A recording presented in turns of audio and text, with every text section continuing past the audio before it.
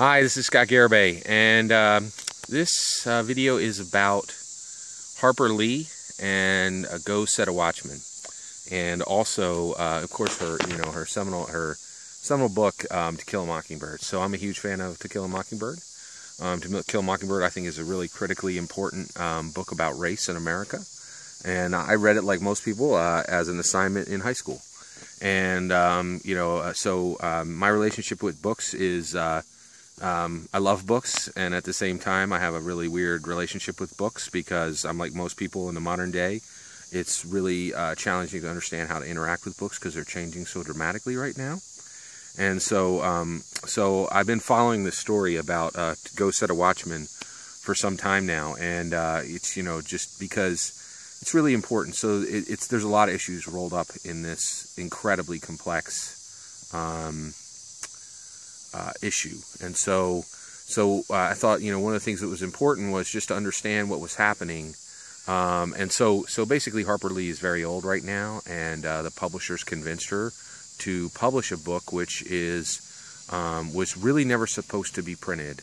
Her editor took a look at the book, Go Set a Watchman, and said, "This is not the right book." And you know, as an editor, sent her back to the drawing board, um, back to her typewriter, and said, "You got to write a whole new book."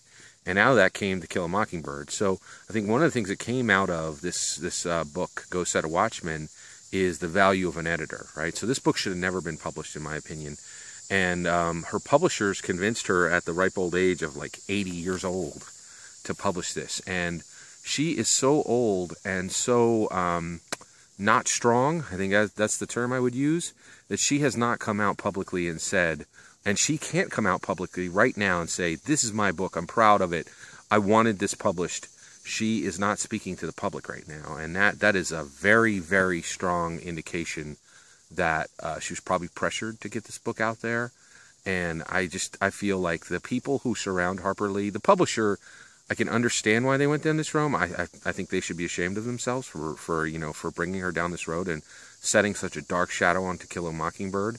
Um, and the reason why I feel so bad about this book is it's just it's junk. It's just you know a crap book that is clearly um, the editor was right when they said this isn't the right book. To Killing a Mockingbird is the right book, and so the people that surround Harper Lee, uh, who make her decisions when she's 80 years old, they have done one of two things, in my opinion. This is my opinion. They have either failed her at best, they have failed her, or at worst, they have really betrayed her because To Kill a Mockingbird is a classic, and this is a drawer novel. Like it's just a novel that should have remained in a drawer.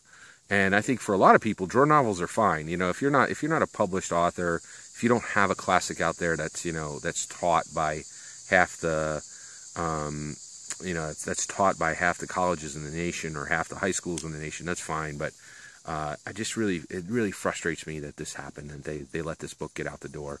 Um, and I, I just think it's a really a shame that what happened to um, to Harper Lee and that you know there weren't people around her to protect her from this.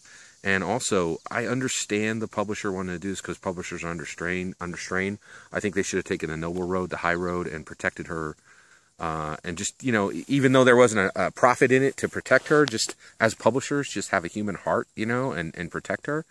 Um, also, um, you know, I, I, follow a lot of you know I follow a lot of authors, and I, I have a really in, a high interest in in um, authors who struggle in their later years, right? So, um, one of my favorite books is Cannibal, Canticles for Leibowitz, and uh, the guy who wrote that, um, he actually killed himself trying to write a better book than that one, and it was it's a classic um, science fiction books, absolutely phenomenal book, really a wonderful book. Uh, I love it. And um, so I'm just saying, I understand Harper Lee. You know, uh, she had a hard decision. I don't think she was in you know desperate need of money or anything like that.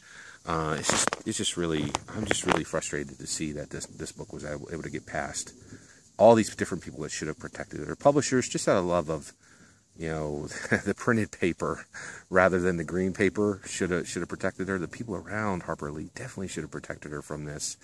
Um, also, uh, Kafka Kafka had a friend, and he said, "Do not publish my works." And most of Kafka's works were published posthumously, and um, you know, and uh, against his will, right? And the friend he trusted to destroy his work after he was dead actually published it, uh, which again, you know, it's just crazy. You know, like if your friend if asks you to do something, do it. You know, it just seems crazy.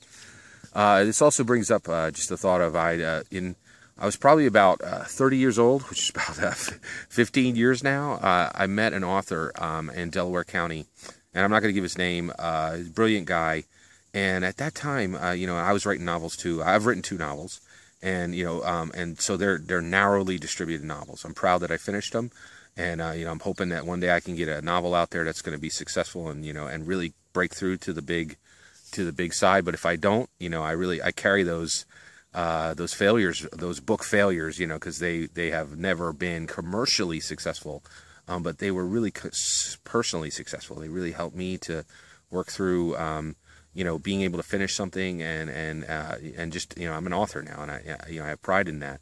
But this author, I've never understood this until, and now this Harper Lee thing really helps me understand this. So this author I met, um, he uh, he was in the same boat as me. He was writing novels and I said, "Hey, you know, I've been writing. You know, I'm working on my my first book now. I'm close. I'm about three quarters way through. You know, what, what's your what's your story? Where are you at?"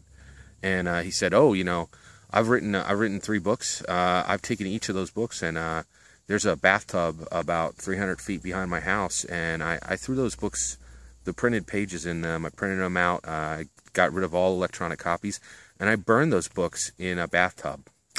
And I didn't even know what to say to him. I was just like, mm, you know, it's just kind of weird. I kind of walked away from the conversation. It was really strange. Uh, the way I met the guy was kind of unusual. You know, I, I, had friends who were cooler than me, and he, this guy was definitely one of them. You know, and um, and I just, you know, I shook my head and I said, "You're crazy. What, you know, what are you talking about?" I didn't say that to him because I knew it was really personal. Um, and now I realize, you know, that guy was brilliant. He was absolutely right. You know, if he wrote stuff that he did not want to connect it to his name, that's what you have to do. You have to burn your book in a bathtub 300 feet behind your, your house because your friends aren't going to do it. Your publishers can't be trusted. The people who surround you when you're old, when you're old aren't going to be able to be trusted. Um, you know, Harper Lee is, you know, is an American um, writer who is a treasure. You know, like we owe her a debt as a nation for writing a book as as epic as um, To Kill a Mockingbird.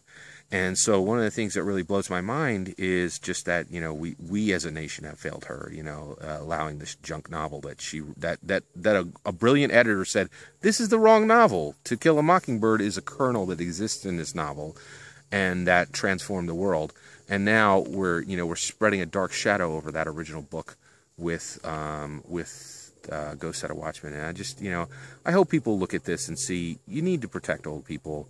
Um, and especially their legacy. And I just feel like I feel ashamed for Harper Lee that people didn't protect her legacy.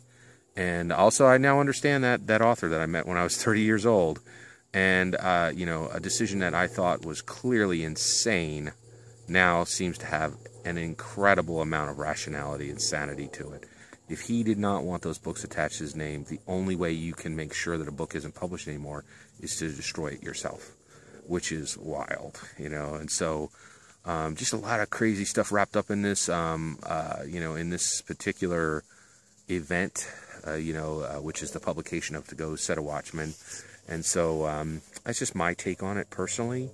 And, um, you know, if you're out there and, and you have a different take, uh, I'd love to hear it, you know. Um, but uh, that's everything. Take care.